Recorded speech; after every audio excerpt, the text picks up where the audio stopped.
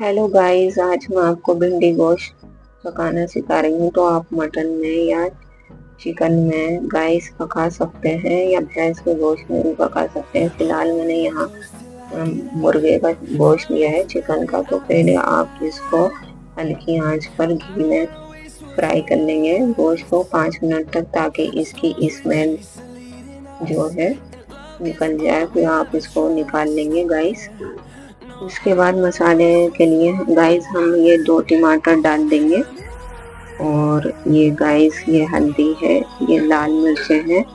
आप अपने टेस्ट के अनुसार डाल सकते हैं। और ये पिसा हुआ धनिया है। एंड लहसुन, अदरक डालना है। और नमक तो ज़रूर डलेगा ही गाइस बाद गाइस हम कुकर में घी डाल देंगे। आप चाहे तो इसमें तेल में भी पका सकते हैं। ये आपकी चॉइस है गाइस मसाला इसमें हम डाल देंगे घी में।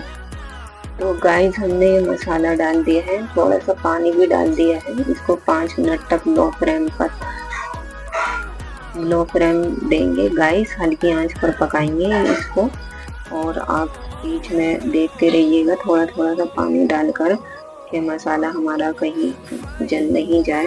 गाइस तो गाइस आपको जितनी भिंडी गोश्त में भिंडियाँ डालनी है तो आप ये भिंडियाँ ले सकते हैं गाइस एंड गाइस आपको ऐसे भिंडी को गोल शेप में काटना है और नीचे से काट देना है। तो चलिए, हम सब भिंडी को काट लेते हैं गाइस तो गाइस आप देख सकते हैं, हमारी जो सब भिंडियाँ हैं, वो कट हो गई गोल शेप में गाइस तो अब हम इसको गोश्त एंड मसाले के साथ डाल देंगे गाइस तो गाइस देखिए, ये हमारा मसाला अच्छी तरह रेडी हो गया है. भून कर अब अब इसमें हम चिकन डाल देंगे गाइस तो गाइस ये हमने देखिए चिकन डाल दिया है मसाले में. अब इसको दो तीन मिनट तक हम लो फ्लेम पर गाइस थोड़ा सा भून लेंगे ताकि मसाला जो है अच्छी तरह से चिकन में गाइस लग जाए.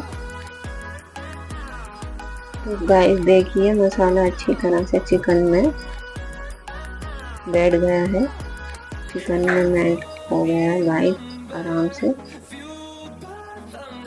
उसके बाद गाइस मैंने चिकन की भुनाई करने के बाद इसमें दो तीन मिनट तक गाइस भिंडियों को मसाले में मिक्स कर दिया है लो फ्लेम पर।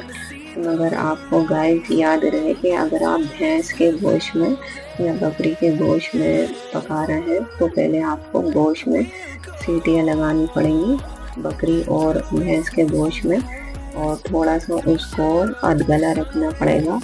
थोड़ा सा, क्योंकि उसमें फिर आप भिंडी डालकर उसको पूरा गला सकती हैं, क्योंकि भिंडियों में गाइस कम सीटियाँ लगती हैं। अगर आप बकरी के या गोश्त या बकरी के या भैंस के गोश्त में साथ में भिंडियाँ डाल देंगे तो भिंडियाँ एकदम घुल जाएँगी। यहाँ मैं चिकन के गोश्त में पका रही हूँ, इसलिए मैंने साथ में भिंडियाँ डाली हूँ, गाइस। तो इसमें हम चार सीटियाँ लगा कर लगा देंगे, गाइस एंड हम इसमें टू कप डाल देंगे, गाइस, ताकि सीटी आराम से आ सके एंड डालते हैं गाइस अब टू कप इसमें, ठीक है? तो ये देख सकते हैं गाइस मैंने ये छोटा कप ले लिया है। आप इसका शुरुआ अपने अनुसार या तो गाढ़ा कर सकते हैं या थोड़ा सा पतला कर सकते हैं, जैसे आपको पसंद आए। और थोड़ा सा सीटी लगाने के लिए पानी ज़्यादा ही डालें, ताकि आपका गोश्त एंड भिंडी जो जो है वो लगे नहीं तो मैंने ये डाल दिया है। टू कप इसमें गाइस गाइस जो भी मसाला लगा हुआ है कुकर के इधर उधर तो हम पूरा उसको मिक्स कर लेंगे। एंड हम इसमें जितना आपको मटन में चार या पाँच सीटियाँ देनी होती है तो हम लगा लेंगे। तो इस तरह गाइस आपका भिंडी गोश तैयार हो जाएगा। तो गाइस ऐसी न्यू वीडियोस देखने के लिए चैनल को सब्सक्राइब करिए वीडियो को लाइक करिए ताकि न्यू वीडियो की नोटिफिकेशन आपको मिल सके। Thank you guys bye bye take care